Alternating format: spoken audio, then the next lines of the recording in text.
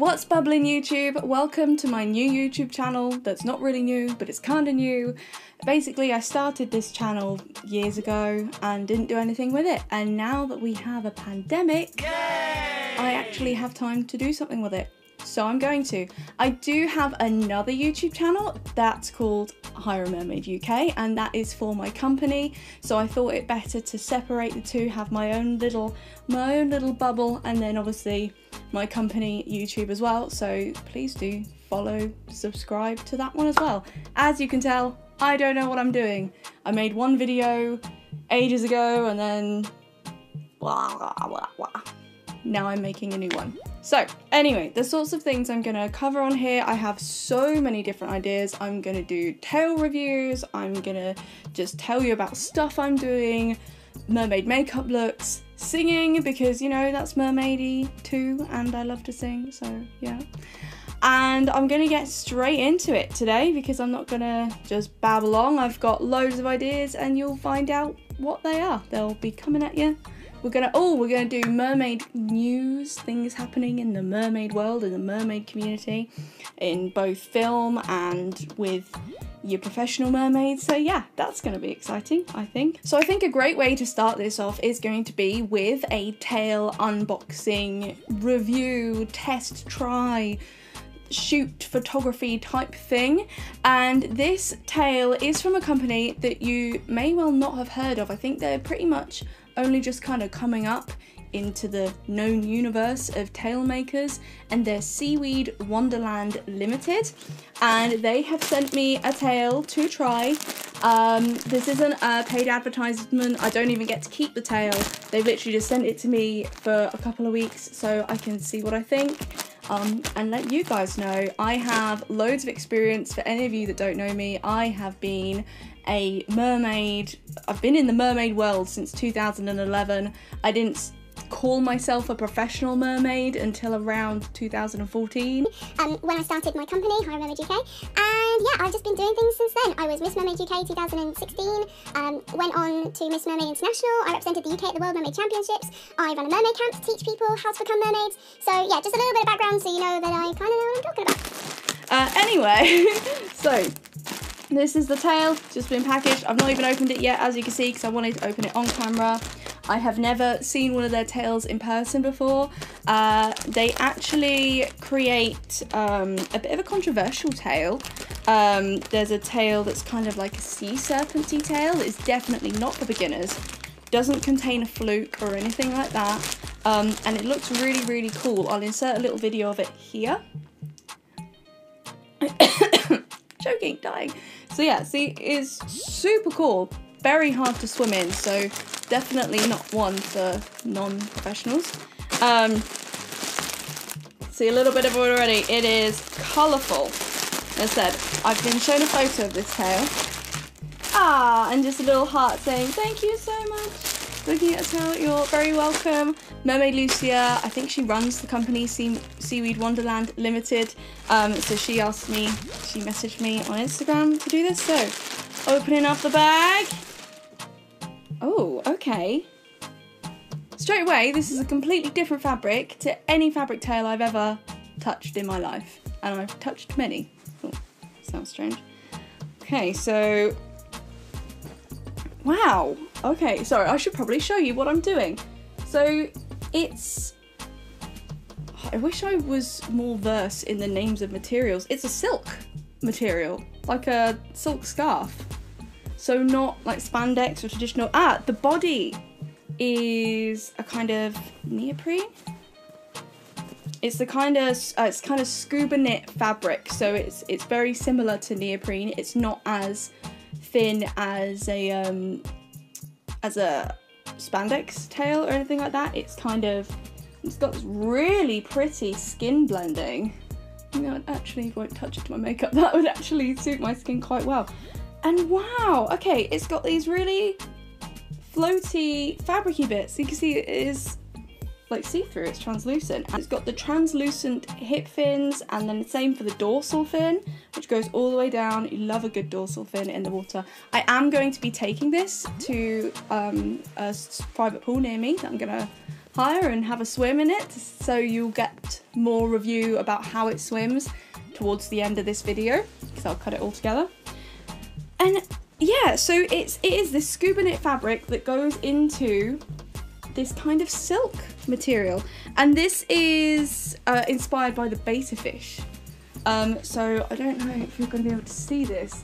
It is too big for my camera screen. So I am going to lay this down and get some video here on my mobile so that you can see it better. But I will bring it up to the camera so you can kind of see the scale detail. It is a really pretty scale. As with Fabric Tails, it does have a seam, but uh, they have actually tried to match the scale. So you can see the seam is here, and they've actually tried to match it so it's not so obvious which is amazing because there are some fabric tails that don't meet and then as you can see as it gets kind of more towards where the fluke has to expand for the heels and things you can see they weren't able to quite keep it there but that is really good that's that little bit there is really really good and then and then it goes up to the uh, dorsal fluke so then from the dorsal fluke pretty much all the way to where your heels sit they've matched the seam let me see if they've done it on the other side. is that purposeful or is it just coincidence?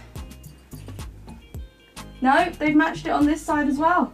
So there's the seam right down the middle. So that's amazing. That's really good for fabric tails because obviously fabric tails, you don't know how realistic they're to be in person and just the fact that when it's stretched out on your body, you won't really be able to see the seams is a really big thing. So I love that. That's really, really good. Um, the colours are amazing. It's proper kind of rainbow, lots of ambers and greens and blues. Um, and as I said, skin blending on a fabric tail as well. I'll show you that up close up. Really, really nice fading there. This big, big old silk. Let me bring this closer. See, the way that they've brought the scuba knit fabric to the silk is kind of in these little strips. They're really not showing on camera at all. There you go, you can just kind of see it there going down in a triangle uh, to join on to the silk. I am really excited to see how this swims. So here you can see how beautiful this tail looks. It is so bright. It does not even fit on the bed. This fluke is huge. Like I can't even get it all in the picture is a massive betta style fluke and it's such a soft silky material. I think it's going to look beautiful in the water, it really is. It's going to look like fire, but as to whether a fluke will show, a monofin will show, I'm not sure. I'm getting all my words muddled today. As you can see, and then you can see the dorsal fin on the other side. So it really is very, very pretty. I'm very excited to swim in it. And I have just found that they've secretly got their little logo on the tail, which is adorable. That you wouldn't notice it like from afar. It's it's not out there or overly it's not gonna ruin the illusion of the tail, but I think that is really cute. Obviously I'm gonna need to try it on. I hope it fits. It looks as if it will. It look yeah, it's got scuba knit has a decent amount of stretch to it, so that's another bonus with fabric tails is that they can fit multiple sizes much better than say a silicone tail that is made for one specific person. Um, so yeah, so my thoughts so far are love the skin blending, love that they've matched the scales on the sides um, as best they can. So they've hidden at the seams as best you can on a fabric tail. Love the hip fins, um, with the translucent and the dorsal fin and the, it's such a different material. that the hip fins and the dorsal fin are not the same material as the fluke. The fluke is a kind of silk and the hip fins and the dorsal fin are kind of a dyed... Um, the word loses me. I've completely lost the name of this fabric. So I will insert it here. It's kind of a dyed that. I know exactly what it is. I have costumes made of it and I can't remember what it's called. This is going well, isn't it? one thing to point out actually that I didn't mention before, lots of fabric tails have some kind of sealant on the bottom. They are either stitched at the corners, so when the monofin goes in, it kind of stays with the monofin and then they've still got a gap at the bottom but you don't see it in the water. Or um, fabric tails can be like poppers or with velcro. Um, usually it is just kind of the corners are stitched but there is no stitching here whatsoever. It opens up completely like a proper betta fish fin. I see why they've gone for this. Um, but it's going to be really interesting to see that when I move in the water, if it becomes uncovered because there's nothing to hold it on the fluke. And swimming in a straight line, it will look beautiful and it should hopefully be very fluid and you won't see the fluke poking out. But when I do any turns, um, or kind of stand in the water waiting. Like, obviously, you don't just swim in a straight line when you're swimming as a mermaid. So, I'm really interested to see if it comes out, and I'm curious to see what monofin I'm going to be able to wear with this. Immediately, I think a Finis Rapid is going to go in this just fine. Um, I think I have one of those, so that won't be a problem. Will a Mahina fit in it? I don't know. I'm going to go grab my Mahina and find out. Okay, so trying monofins, as you can see immediately, the Finis Wave will fit in this tail. I've also got a Hydra monofin, still in the bag, but whatever, um, which I believe it should go about there, which would mean it'd be too wide. I, I might get away with wearing it down there, because obviously there is so much room in this fluke, but then obviously I'll be pulling this up higher, that'd probably end up being right under my bust. So at the moment, I think definitely the Finis Wave. Oh, okay. I didn't think the Mahina was going to go on that then, but actually, that's in exactly the right place. So a Mahina will fit in the tail as well. So whether you've got a Mahina or whether you've got a Finis Wave will definitely fit. I think a Finis Rapid would work as well, um, one of the smaller Finis fins, but this is a lot of material. So you are going to want a big, big monofin to give you that propulsion so you don't experience too much drag, even though it is a beautiful silky material, so it shouldn't drag too much, but whenever you're going to be swimming with a large fluke, you want a large monofin to go with it. Right, so those are the main points about the tail that I can see immediately without testing it out. It's got scuba knit body, it's got a silk fluke, and then it's got a kind of polyester chiffon uh, hip fins and dorsal fin. Uh, it's really beautifully coloured, super, super bright, um, not too heavy in any way. And I'm really excited to try it out and give it a go in the water. So we're gonna whip over to there now.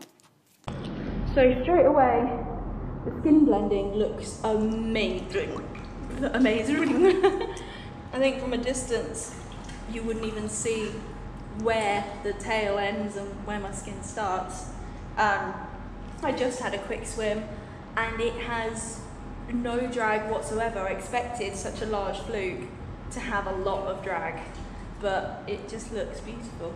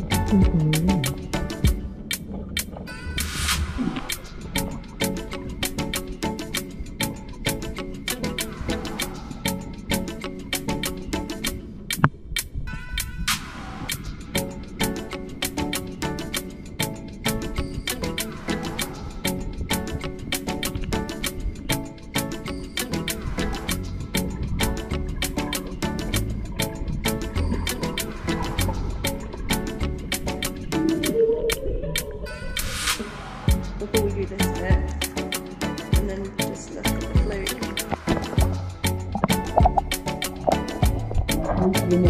fluid.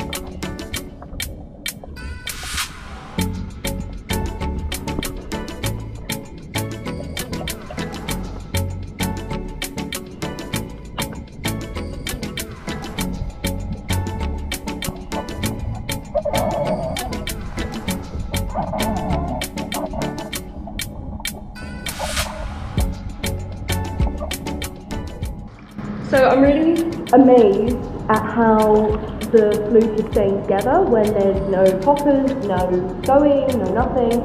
So I'm now just going to give a really good kick about and try my best to get my monofin out of the fluke and see if I can manage it without obviously grabbing it and opening it. So let's give it a go.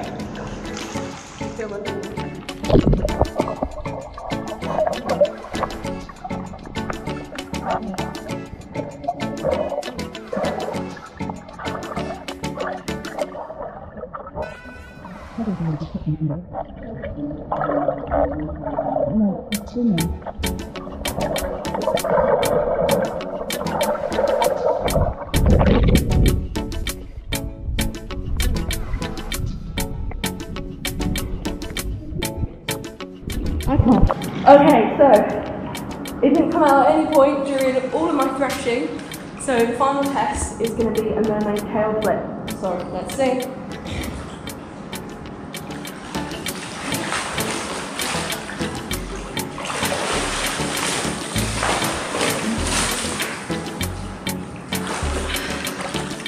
Did it come out? Not that I could see.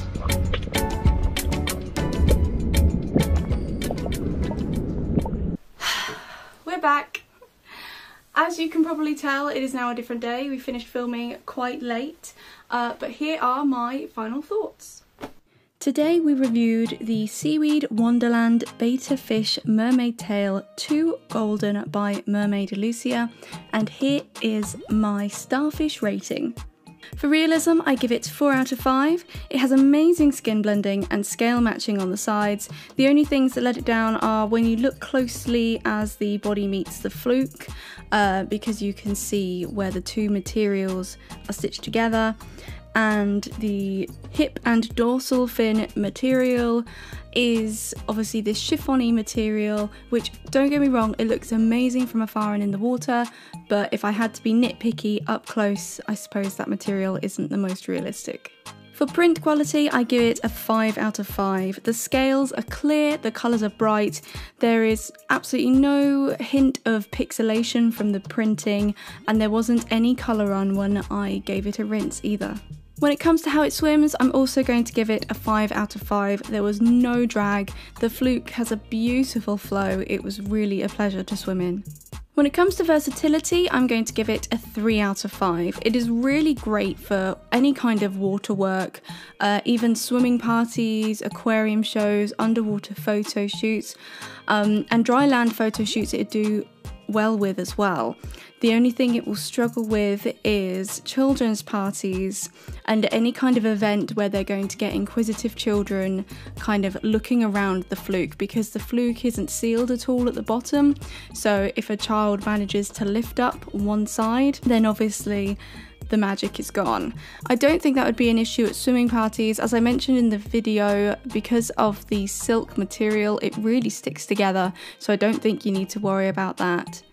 The only other aspect where it will struggle a little bit versatility wise is when you're doing a land photo shoot, there's no rigidity to the fluke end, so you won't be able to kind of lift it. The fluke material will always fall around the monofin.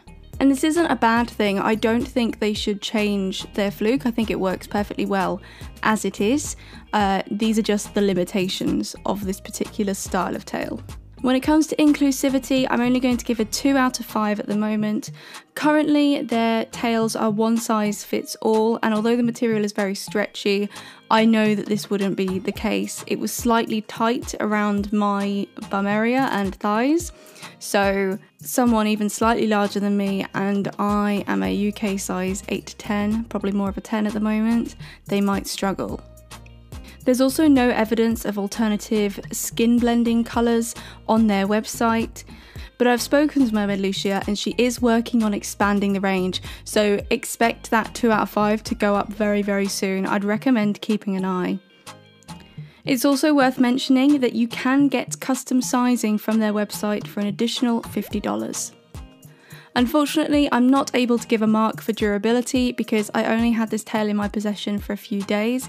It seems strong, and as I mentioned earlier, there wasn't any kind of colour run or any issues like that. I think the tail will last you a long time, but I cannot currently comment on that myself as I haven't been able to test it for a long period.